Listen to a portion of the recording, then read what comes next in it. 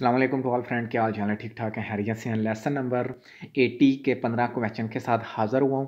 Question number 16 है at roundabouts which vehicles है priority कि राउंड अबाउट में किस, कौन से व्हीकल को जो प्रियारिटी हासिल होती है, जो, जी, जोन से भी जो गाड़ियाँ, जो राउंड अबाउट के अंदर सर्कुलेट कर रही हैं, उनको प्रियारिटी हासिल होती है।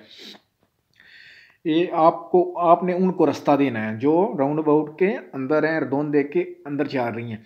A vehicle approaching from the left, B vehicle approaching the roundabout from the right, C vehicle that circulating within the roundabout. इसका कि होगा सी के जोन सी जो गाड़ियाँ हैं वो सर्कुलेट कर रही हैं राउंड अबाउट के अंदर उनको प्रायोरिटी हासिल है क्वेश्चन नंबर सेवनटीन है जी if you are detained inside a tunnel of more than two minutes what should you do अगर आप को रुकना पड़ गया है दो मिनट से ज़्यादा टनल के अंदर में तो आप क्या करेंगे जी हम जो है अपना इंजन है वो हम गाड़ी का वो हम बंद कर देंगे। A turn off the engine and position lights B stop the engine C only turn on the emergency signal जिसका होगा। ठीक है, हम जो गाड़ी का इंजन है वो हम बंद कर देंगे। क्वेश्चन नंबर एटीन है जी lane selection arrow lane selection arrow ये क्या बता रहे हैं जी? ये है कि हमें जो लाइन का बता रही हैं तो हम जो लाइन वो हम चेंज भी कर सकते हैं। A they force you to follow the direction indicate by the arrow always prohibiting line change B always to follow the direction indicate by the arrow C they force you to follow the direction or direction indicated but it is sign allow it they authorize the line changes का होगा. सी कि हमें वो, हम जो वो direction कह रही हैं, हम उनको, उसको भी हमने फॉलो करना है, वो हमें लाइन चेंज करने का भी है वो अथराइज हमें इजाज़त है. क्वेश्चन नंबर नाइनटीन है जी should the driver of a white car respect the stop sign when he reach the intersection ये जो वाइट गाड़ी है, क्या उसने जो वर्टिकल साइन जो लगा हुआ है रोड के ऊपर स्टॉप का, क्या उसने उसको फॉलो करना है? जी नहीं, जिस गाड़ी ने लेफ़्ट साइड पे जाना है, उसने सिर्फ़ ये वाला जो निशान है, इसको फॉलो करना है।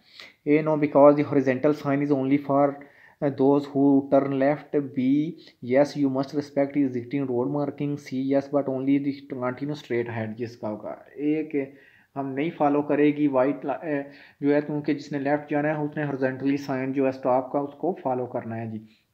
क्वेश्चन नंबर ट्वेंटी है जी। It is mandatory to use the rear fog lamp के रियर फोग लैंप कब होता है? कि आपने ज़रूर जो है वो ऑन करनी है।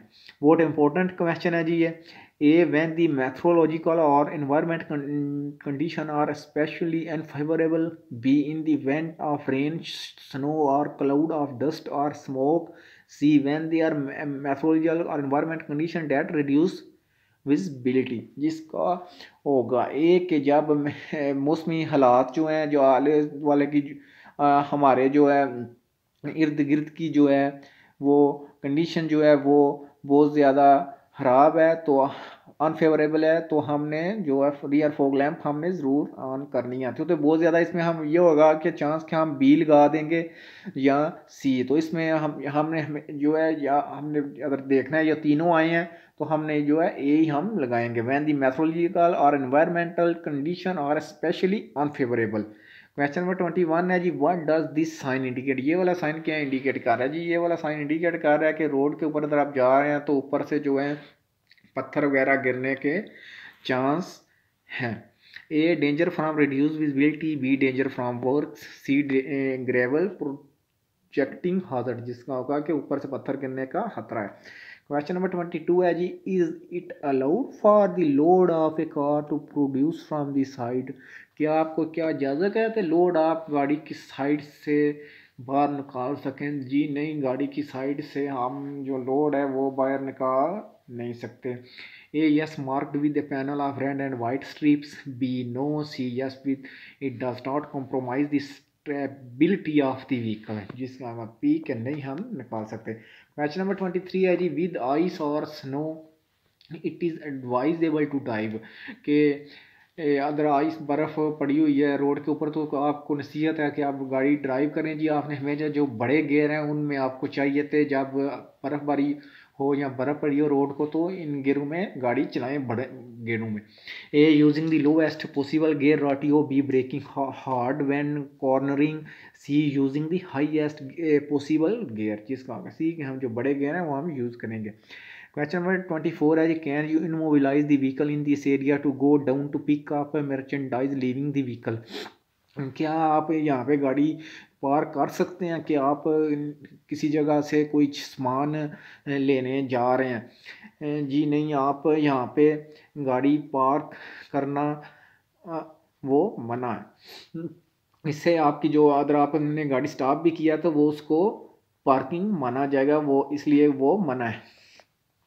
A yes as long as the duration is less than two minutes B no it is consider parking and it prohibited C yes since it an area where stopping is allowed जिसका होगा P क्योंकि उसको अगर आपने गाड़ी खड़ी करके आप कुछ लेने गए या पिक करने के लिए कुछ तो इसको वो जो है पार्किंग कंसीडर करेगा और ये मना है क्वेश्चन नंबर ट्वेंटी फाइव है जी when you have respective allergy and have a sneezing crisis कि अगर आपको एलर्जी है या आपको बहुत ज़्यादा छींकें आ रही हैं तो इससे क्या आप पे असर होगा?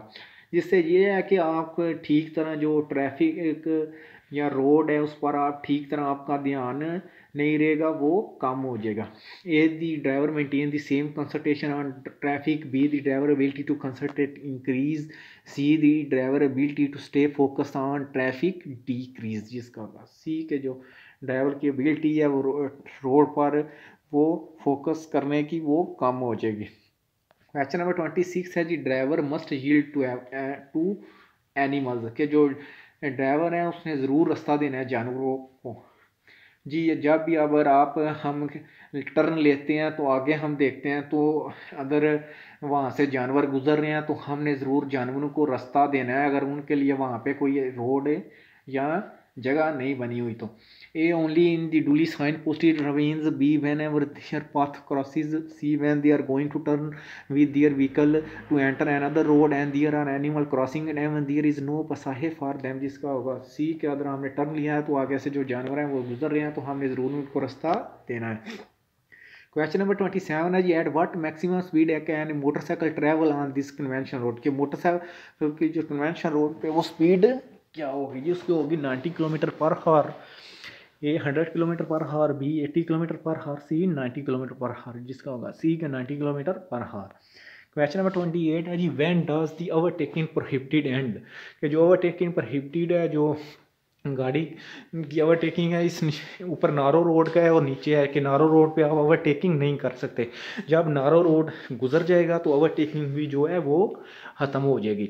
A when it reach the narrowing B when it come out of narrowing C when it exceed the vertical of the end of the overtaking prohibited sign जिसका होगा सी के जब हम जो वर्टिकल साइन है, ऊपर वाला नारो का जब हम नारो रोड से गुजर जाएँगे तो वहाँ पे जो ओवरटेकिंग है, वो भी ख़त्म हो जाएगी जो मना है।